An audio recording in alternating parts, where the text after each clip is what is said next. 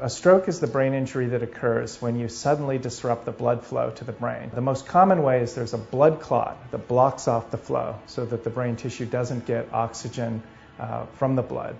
The other way is the blood vessel can actually rupture, so there's bleeding into the brain. A stroke is a very common condition. In fact, uh, over 750,000 people have a stroke in the United States each year, and it's the third leading cause of death the number one cause of adult disability. The common cause of stroke in older individuals is hardening of the arteries. That can cause blood vessels to rupture for bleeding strokes, or it can make the vessel surface sticky, so a blood clot can form and block off the blood flow. One of the more common causes in young people is a tear in a blood vessel, which we call a dissection. So sometimes if there's been trauma to the neck, it can cause a tear, which can block off the blood flow. Other things that can happen in younger patients are trouble with the heart. They can have a blood clot form on an abnormal heart valve, which can break loose and go to the brain. The number one risk factor for stroke is high blood pressure. Other risk factors for stroke include diabetes, smoking, high cholesterol, heart disease, and some of the non treatable risk factors are age and then gender. As we said, men tend to have more strokes, uh, particularly in their, their 40s, 50s, and 60s.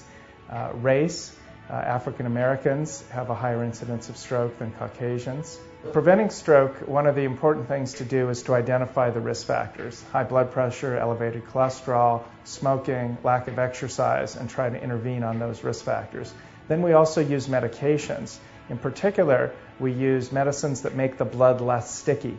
We often use medications to keep the cholesterol under control. What we've learned is that getting the cholesterol down very low is helpful not only for preventing heart attacks, but also is very helpful for preventing stroke. We have lots of treatment options for stroke. That's the good news. The bad news is that we have to start them very quickly after the onset of symptoms. The standard treatment that we've had for many years is a drug called TPA, which is a clot buster, which can dissolve the blood clot.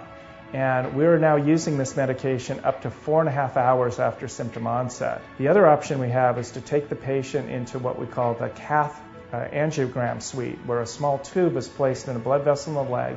The tube goes up into the brain, and we can physically try to remove the clot with a mechanical device. We can also use clot dissolving medicines directly into the clot with that technique. The stroke symptoms are complicated because they depend on what part of the brain has had the disrupted blood flow. If it affects the left side of the brain, typically what you'll see is weakness on the right side of the body, usually involving primarily the arm and the face, and difficulty speaking. The right side of the brain can be even more complicated because instead of the speaking problem, the patient usually has some confusion. Oftentimes, when the patient is having a stroke, they may not be able to call 911, either because they don't realize it or because they're not able to talk. And that's why it's critical that people know the warning signs.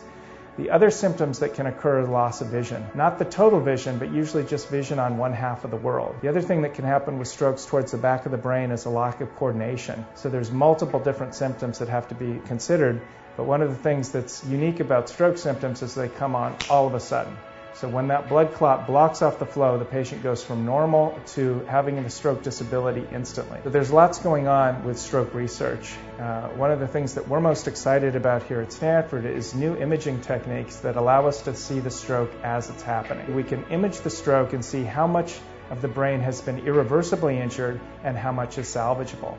And sometimes we'll see a patient, even at 8 or 10 hours, that has a considerable amount of salvageable tissue. So we can intervene with our treatments later than we might have otherwise.